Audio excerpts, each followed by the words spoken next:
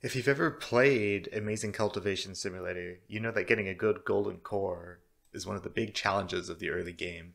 Maybe you've looked up a guide, you've asked on Discord, or you even read the guide I wrote, and you may or may not have heard of something called a manual qi burst, which can increase your golden core score by up to 20,000 points if you do it in the right situation.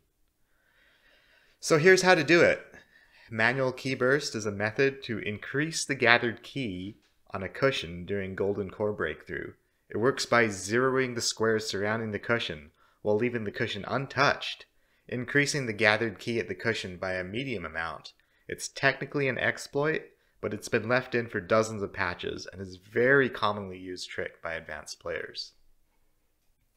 I'm going to talk about the most recently developed method called the tic-tac-toe method, there's an old method you may have seen using display stands and a wall. However, it's a little bit more complicated to perform. If done right, no matter which method you use, the effect is the same, regardless of how you set it up. Set up your room like this. It's a normal cultivation room. You have a spirit wood diamond, an inner diamond made up of the elements that support the law. Then, at these exact locations, drop and ban an additional piece of spirit wood.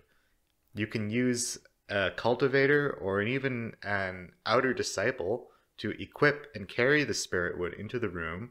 They always drop directly south of themselves. Or you can set up displays that will drop into the square directly south of each display, like this. Once you have the spirit wood set up and banned, you want to wait the normal five days for the room to finish gathering qi. When the conditions are right, start your golden core breakthrough.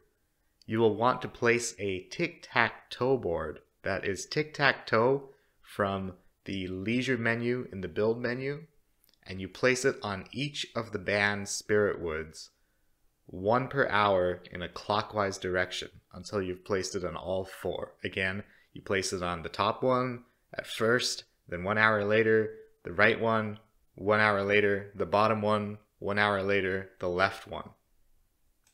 Do you see how the spirit wood jumps in place when you place the tic-tac-toe? This is equivalent to picking it up and putting it down again. This little jump resets a 7 by 7 square surrounding the spirit wood to zero qi. You can see that it's become zero qi looking in the bottom right with the more tile info mod.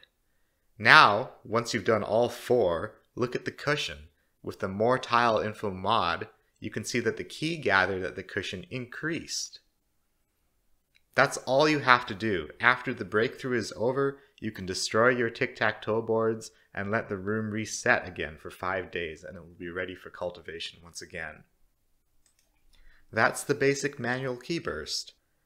There can be different setups depending on the range of materials you have. If you have a very advanced setup, you may need range 5 or even bigger range materials on the outside four squares. You may have also heard of something called Infinite Qi Burst.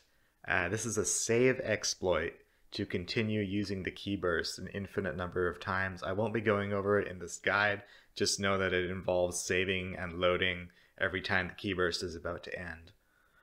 For the cultivation room setup, if you haven't seen this kind of cultivation room setup before, please subscribe to my channel and hit the bell icon to be notified when I post more guides.